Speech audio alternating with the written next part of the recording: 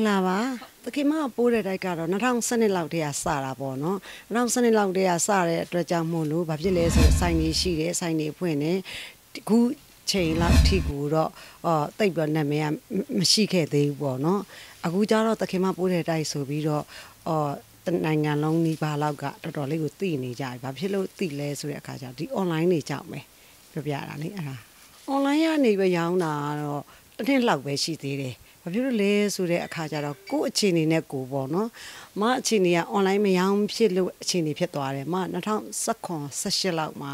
တော်တော်လေးနေမကောင်းဖြစ်လိုက်တယ်။နေမကောင်းဖြစ်လိုက်တော့အလုပ်ကိုခဏနားလိုက်တယ်။ဒါပေမဲ့နားလိုက်တဲ့အခါကျတော့နားလိုက်တယ်ဘလို့မှလည်းရက်တီလို့လည်းမရဘူးစိုင်းနေဖွင့်ထားတယ်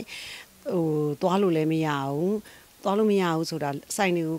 ဟွာလေးနဲ့ဝန်ထမ်းတွေနဲ့ပဲလှော့လိုက်ရတာပေါ့နော်ဝန်ထမ်းတွေနဲ့ပဲလှော့ရတဲ့အခါကျတော့ကိုကိုတိုင်သွားမကြည့်နိုင်ဘူးဟိုသွားပြီးတော့လည်းမလေ့လာနိုင်ဘူးပေါ့နော်မလေ့လာနိုင်တဲ့အခါကျတော့တော်တော်များများဆုံးရှုံးမှုတွေကအများကြီးပဲဆုံးရှုံးမှုများတဲ့အခါကျတော့နောက်ဆုံးကျတော့ဘာလုပ်ရမလဲဆိုတဲ့အခါဒီလုပ်ငန်းကြီးကိုလည်းမဖြတ်ချင်ဘူးမဖြုတ်ချင်ဘူးအပိုင်မသိမ်းချင်ဘူးဘာဖြစ်လို့လဲဆိုတဲ့အခါကျတော့ဒီတခင်မပိုးတဲ့တိုက်ဖြစ်အောင်လုပ်လာရတာလဲနာမည်တစ်ခုရဖို့ဆိုတာလည်းမလွယ်ပါဘူးပြောပြရတာလေအဲ့တော့အရင်တုန်းကအဲ့တော့ဘာလို့မလဲစိုင်းတွေကိုတစ်ခုပြီးတစ်ခုကိုဆုံးရှုံးမှုတွေများလာတဲ့အခါကျတော့ဖြုတ်ရတာပေါ့နော်ဒီဆိုင်ခွဲတွေကဘယ်မှာရှိလဲဆိုတဲ့အခါကျတော့ရေကျော်မှာတဆိုင်ရှိတယ်တောင်းကလာပါမြစ်တာလမ်းမှာဆိုင်ရှိတယ်နောက်ပြီးသင်္ကန်းညွန့်လေးတော့ကန်ကတော့ပင်မဆိုင်ကြီးပေါ့နော်ပြီးတော့တမိုင်းလန်းဆောင်မှာရှိတယ်အဲ့ဒီဆိုင်တွေကနေတော့တမိုင်းလုံးဆောင်ဆိုင်ကိုအရင်ဖြုတ်လိုက်ရတယ်ဖြုတ်လိုက်ရတဲ့အကြောင်းရဘာကြောင့်လဲဆိုတော်တော်လေးနှက်မျောတယ်အဲ့ဆိုဝန်ထမ်းတွေလှော့တယ်ဝေးတယ်သွားမကြည့်နိုင်သွားမကြည့်နိုင်ဘူးဆိုတာဘာကြောင့်လဲဆိုတဲ့အခါကျတော့ကိုကျမကြီးကအပြင်ထွက်လို့ဟိုမရဘူးဖြစ်နေတာအာလူကိုယ်တိုင်မသွားနိုင်တဲ့နေရာတစ်ခုအလုပ်တစ်ခုကဘယ်အရာမှအဆင်မပြေနိုင်ဘူးလေအဲ့ရနေစပြီးတော့ဟိုဖြုတ်လိုက်တယ်အရှုံးတွေပေါ်လို့ဖြုတ်လိုက်ရပြီးတော့ဒုတိယတောင်းလာပါဆိုင်နောက်တော့ရေကျော်ဆိုင်ဖြုတ်လိုက်တယ်ဖြုတ်လိုက်လဲပြီးတော့ဒီလေးတော့ငါလမ်းမကြီးပေါ်ကဆိုင်ပဲကြံခဲ့တယ်ကြံခဲ့တဲ့အခါကျတော့အခါပါလဲဆိုတဲ့အခါကျတော့ ဒီဒါကိုဘယ်လိုတိုးတက်အောင်လုပ်မလဲဖြုတ်မလားဆိုတော့ဖြုတ်ဖို့အစီအစဉ်ကတော့လုံးဝမလုပ်နိုင်ဘူး။ဘာဖြစ်လို့လဲဆိုတော့ကိုကိုယ်တိုင်ကလည်းဒီလုပ်ငန်းတွေဝါသနာပါတယ်။ဒီဒီဇိုင်းလုပ်ငန်းတွေချိတ်ထိုးတာတွေဝါသနာအရန်ပါတယ်။အဲ့တော့လုပ်ငန်းတစ်ခုကိုတည်ထောင်ပြီးပြီဆိုလို့ရှိရင်လည်းဖြတ်ရတာလွယ်တယ်။ဖြတ်ရတာလွယ်တယ်။ဒါပေမဲ့ပြန်ပြီးတည်ထောင်ဖို့ဆိုတာမလွယ်။ငါမရရအောင်ကောက်ကပ်ပြီးတက်မယ်ဆိုပြီးတော့ဘာလုပ်လဲဆိုတဲ့အခါကျတော့ online ကိုစပြီးတော့ဒီထွင်ပြီးတော့ online လောက်တာကတော့3နှစ်လောက်ရှိပြီ။3နှစ်မှာဘယ်လိုပြောမလဲဆိုတော့ဟို လူသိပိုများလာတယ်နောက်ပြီးတော့လာဝယ်တဲ့လူတွေကကြတော့လေဘယ်လိုပိုများလာတယ်ပိုများလာပြီးမှသူတို့ online ကို online ကဗမာလူမျိုးတွေကတော်တော်များများတွေကဘာအခက်အခဲတွေရှိလဲဆိုတော့ဟောအလိန်ခံမှာကြောက်တယ်လိန်ခံမှာတွေကြောက်တယ်ဟုတ်ပါမလားဖြစ်ပါမလားဆိုတာအဲ့ဒါကိုကိုကကြတော့ဘာလုပ်ရလဲဆိုတဲ့အခါကျတော့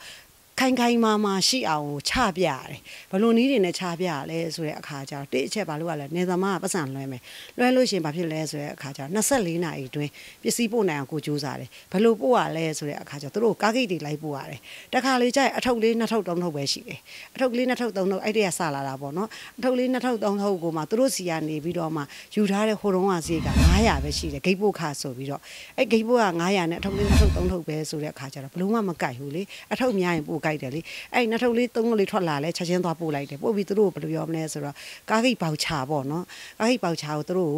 ဒီ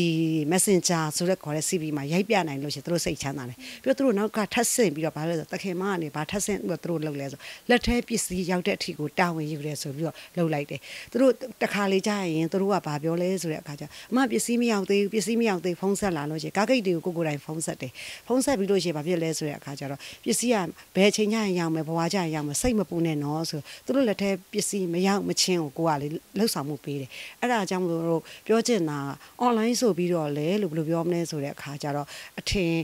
မသေးပါနဲ့မယုံကြည်မဖြစ်ကြပါနဲ့ online သမားတွေမှန်တယ်မြအကုန်လုံးဟာလို့ယုံယုံကြည်ကြည်နဲ့အကုန်လုံးဘယ်လိုပြောမလဲဆိုတဲ့အခါကျတော့အကုန်လုံးဟိုကလေဒီ customer ကိုပေါ့နော်ဘာပဲပြောပြောပေါ့နော်ပစ္စည်းပို့နိုင်အောင်အောင်လုပ်ပေးနိုင်အောင်အောင်ယုံကြည်အောင်လုပ်ကြတာဟိုဟာတော့ဗာလဲဘယ်လိုခေါ်မလဲဆိုတဲ့အခါကျဖြည့်ဆည်းပေးကြတာပေါ့နော်အဲ့ဒါနောက်တစ်ချက်ကပြောချင်တာကတော့ဒီ online ကကိုဗစ်ဖြစ်မှ online ဆိုတဲ့ဟာကိုတော်တော်များများကြည့်ချင်မြန်ဖြစ်လာတာ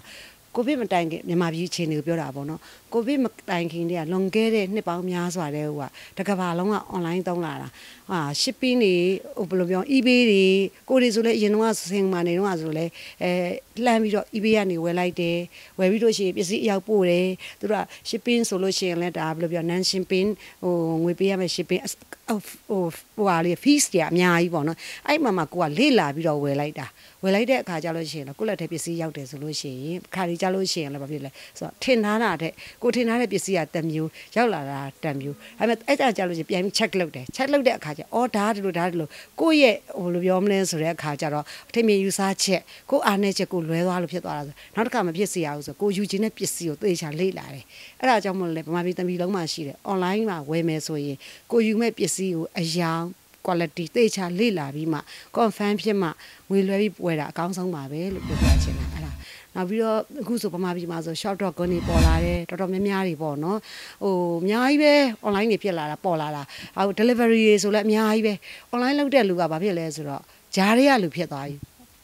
ကုန်တယ်စီးရပစ္စည်းကိုလည်းဈေးသက်သာဆုံးမရအောင်လိုက်ဖမ်းရတယ် ပြီးလို့ရှိရင်ဘာလုပ်ရလဲဆိုတော့ဂျားထဲမှာဒီဟာကိုလည်းဖြတ်ရတယ်ဗမာပြည်တစ်ပြည်လုံးပြီးတော့ delivery fees ကိုလည်း delivery သမားကိုလည်းဘယ်လိုပြောမလဲဆိုတော့ဈေးသက်သာအောင်ရမြန်မြန်ပို့နိုင်အောင်ဖမ်းရတာအားလုံးကဘာဖြစ်လဲဆိုတော့ team work စီတစ်ခုလိုပဲ group ကြီးတစ်ခုလုံးဖြစ်ရတာလောက်တာ online လုပ်တယ်ဆိုပြီးတော့မတတ်တာပါဘူးပြောပြတာအဲ့ဒါဆိုတော့နောက်တစ်ခေတ်မှအကကြတော့အဲ့လိုမျိုးပေါ့နော်အဲ့လွန်ခဲ့တဲ့3နှစ်လောက်က online တက်လာတယ်တက်လာပြီးတော့ဗာလဲဆို online ရောင်းတယ်ရောင်းရပါတယ် online ရောင်းရပြီးတော့တခါနောက်တစ်ခါကဘာဘာကိုထပ်ပြီးတော့ခြေလန်းလန်းကျင်လဲလွန်ခဲ့တဲ့တစ်နှစ်လောက်က live လွှင့်ရောင်းလို့ရှိရင်ပို့အဆင်ပြေသွားနိုင်မယ်လို့ထင်တော့ live တွေလွှင့်ရောင်းတယ် live လွှင့်ရောင်းတဲ့အခါကျတော့အရင်တော့ကတော့ရုပ်ပြပြီးတော့မရောင်းရုပ်ပြမရောင်းရဲသေးဘူးပေါ့နော်အတန်လေးနဲ့ပဲအရင်စားတော့အပိတဲ့ပြိသက်ကညားရတယ်ဝယ်တဲ့လူကလည်းပူစားသူလာတယ်အရင်တက်ကူကြီးလာတာဝယ်တာကိုဗစ်မဖြစ်ခင်တည်းကအဲ့တော့ဝင်လာတဲ့အခါကျတော့ဘယ်လိုဖြစ်လဲဆိုတဲ့အခါကျတော့အော်နောက်တစ်ချက်ပေါ့နော် ဒီ online ပေါ်မှာတော်တော်များများလူငယ်လေးတွေပေါ်လာတယ်သူတို့တွေရဲ့ပြောနိုင်ရင်စွမ်းရည်သူတို့အလှတရားတွေလည်းရှိလာတော့အော်ငါတို့တခဲမှလည်းလူလွှင့်ပြမှမှပြလိုက်အောင်မဲဆိုထပ်ဆင်တွေးပြီးတော့မှလူလွှင့်ပြတာအဲ့တော့ဘာဖြစ်လဲဆိုကိုဗစ်ပြီးတော့မှလည်းပို့ပြီးတော့အောင်မြင်လာတာအခုဆိုလို့ရှိရင် live လွှင့်တာ live လွှင့်ရောင်းခြင်းကပိုအောင်မြင်တာပေါ့နော်အဲ့ဒါကြောင့်မလို့ဟိုခါတယ်တခဲမှရဲ့ရည်တည်မှုက online နဲ့အဲကျေးဇူးတွေအများကြီးပါတယ်လို့ယူဆရတယ်နော်အဲ့ဒါကြောင့်မလို့